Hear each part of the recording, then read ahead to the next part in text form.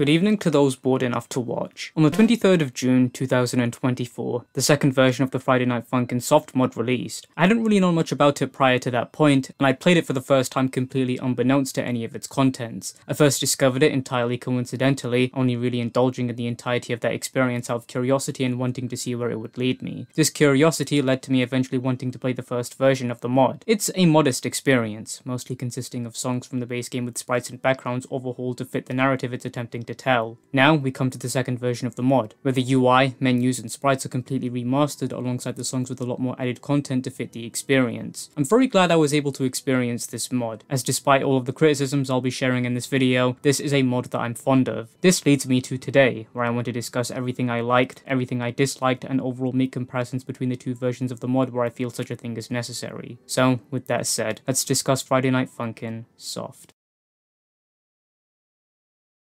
The story begins in media res. Benjamin and Pico are fleeing from the Fairests, of whom are the parents of the former. They stop in an alleyway and decide to have a duet in preparation for a possible confrontation between themselves and their pursuers. When they're finished, they both hear footsteps, of which is belonging to Father Fairest. He's here in hopes of taking Benjamin home, which is dependent on whether he wins a rap battle that they're about to engage in. When Benjamin wins all three songs, Father Fairest tries to resort to some sort of physical violence in hopes of forcefully achieving his goal. Pico intervenes and sprays him, of which the pair uses an opportunity to flee from the alleyway. They seek shelter in an abandoned mansion, where they're confronted by the spooky kids. They recognize Benjamin due to posters of his face around town and his relation to his parents. A rap battle ensues. I really like the detail of Benjamin doing the spooky dance in this version of the mod, as it wasn't in the original. It would have been funny if Pico started doing it too, but I suppose that wouldn't really fit the narrative. Either way, all fun ends here when Benjamin awakes in an empty room where he only has this gentleman for company. I do want to talk about Monster later in this video when he's more relevant, so for now, after the duet between the two ensues, Benjamin awakes to a worried Pico. He mentions that the children caught a ride from a fellow in a white van, but that's not really important. Initially, Benjamin insists on trying to leave the mansion, but when lightning strikes, he quickly changes his mind. Chapter 3 is probably one of the biggest highlights of the mod. After checking out of the mansion, the duo eagerly wait for a train. Pico in particular is rather restless and isn't keen on being set back any further. Luckily for him, Grace arrives. She notices Benjamin and after a brief introduction, she insists upon a duet with Benjamin. In the original version of this mod, this was one of the only chapters in that version with songs of its own, and for this version, they're all remastered beautifully. Not only are the songs great, but the added expressions and the sprites emphasize the tense feelings present in this chapter, which suits Grace's gradual loss of tranquility and general happiness to see Benjamin. This is a result of him making it more and more clear that he isn't interested in returning, as he points out the moral quarrels with their situation. In the original version of the mod, Grace talks about Pico specifically during her mental breakdown, which involves guns and schools, and if I just said the term, this video would probably get age restricted. I was originally ready to discuss that further and why bringing it up in the slightest isn't a good idea. Narratively, it brings up a lot of questions that I don't think the mod has answers for. We won't dwell on it much, as ultimately and understandably, those aspects of the dialogue don't make a reappearance in the current version. I bring this up because with this removed bit of dialogue, a crucial detail about Grace's and Benjamin's background is removed with it, in my opinion, that being that both of them were privately tutored. Grace is presented as someone who is overly sheltered by her parents and fed a false reality regarding her future. This is the case for Benjamin as well, who supposedly breaks out of this reality with the help of Pico. This false reality agonizingly shatters for Grace, bit by bit. This results in herself breaking down in tears at the end. With the detail of them not being around people very much aside from their own parents, it makes a lot more sense as to how Grace managed to live in that reality for so long, because until this chapter, she never had anyone to snap her out of it, and supposedly, she's left to try and pick up whatever pieces she can on her own, as in Benjamin's attempts to comfort her, both himself and Pico are swept away by the inhabitants of a white limo, specifically that of Mother Marist. In her attempts at trying to bring Benjamin home, she becomes more and more irritated at his constant refusals, initially presenting herself as a kind and bubbly personality, but gradually shows more of her true character. Pico intervenes after the third song and commands his partner to jump off the limo and into his arms. I really like the animated cutscene here. It adds a lot more tension to the scene, as in the original version of the mod, the chapter just ended abruptly after he's commanded to jump. A month after the events of the fourth chapter, Pico and Benjamin finally enjoy the festivities together after spending a month in recovery. Though they're quickly interrupted by the fairest couple, who want to reattempt their efforts to bring Benjamin home, and this time it'll be a joint effort. After the first song, Benjamin has finally had enough, and for what seems to be the first time, speaks his true mind to his parents. With a newfound invigoration and sense of hope, the second song plays, but this time, he's not trying to survive, he's trying to win. This is made clear through details such as him constantly interjecting his own singing even when the couple are having their turn. In the original version of the mod, Grace was visible in the background during this chapter. In the first song, she looked upset, seemingly at the sight of Benjamin. But when he gives his spiel about parenthood and what that means, her expression changes to what appears to be a sense realization. In the third chapter, Benjamin couldn't finish his efforts to comfort and speak some sense into her, so I often like to think that what he says here outright snaps her out of her false reality she'd been living in. This is a detail that unfortunately doesn't make a reappearance in the second version of the mod, and if anything, would have fit here more than ever, especially with what we're about to see happen after this chapter. Ultimately though, when this song ends, Benjamin finds himself alone, once again with this gentleman here for company. From what I can interpret, the monster is assumedly supposed to represent Benjamin's mental perception of his parents. This can be seen through details in the design of his character, such as him wearing the same shirt and having the same coloured hair as Father Fairest. Benjamin overcoming what is implied to essentially be an inner demon that's been tormenting him for what's implied to be a long time is the note this family feud ends on, and it doesn't work for me. In order to explain why, I first need to discuss a few things. Namely, the first being the actual structure of the original Friday Night Funkin' experience that this mod bases its own structure off. The base game is incomplete, and nothing suggests that more than the current story and the weeks in the game. In between a lot of the weeks, there's a lot of missing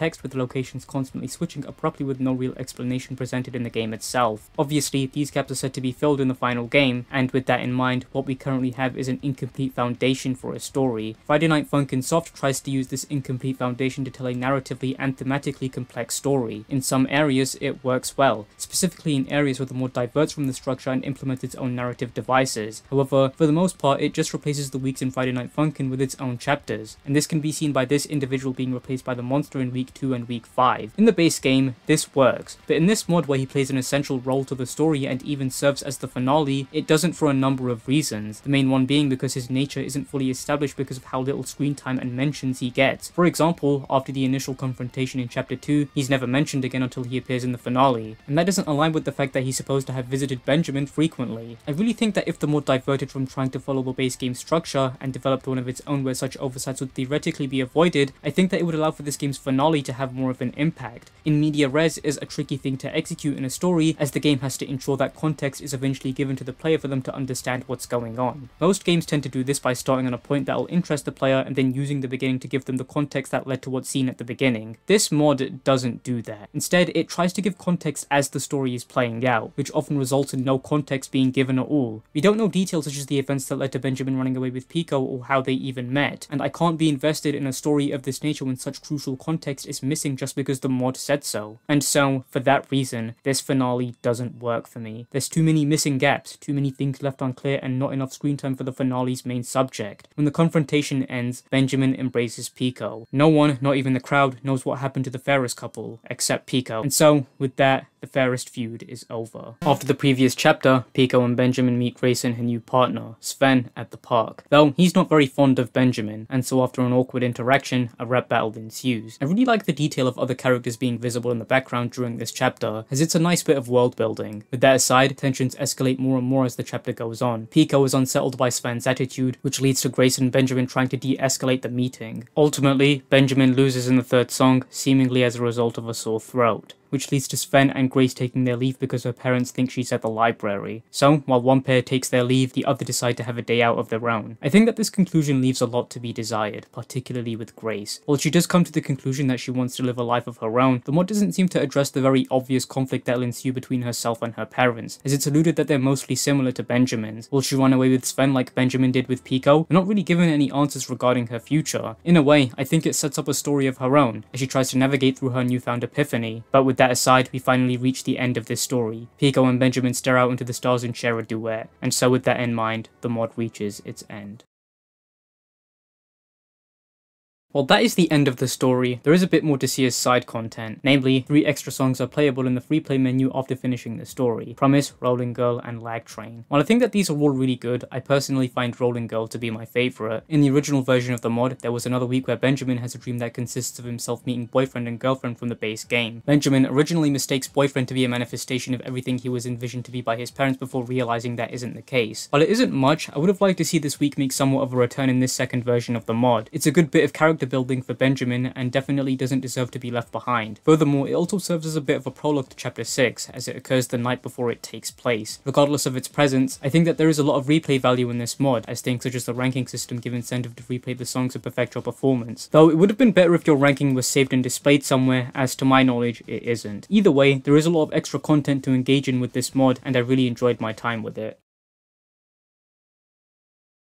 I believe I've said everything I want to say about this mod. It's not perfect by any means. I hope my critiques in this video regarding things such as the narrative shortcomings concerning the story this mod tries to tell shows that. However, I believe this mod is amazing regardless. Through everything I engaged in when I played this mod, I believe the amount of work and dedication put into this mod is visible. Despite all the narrative shortcomings, I enjoyed my time with Friday Night Funkin' Soft, and on that note, I absolutely would recommend that you play it.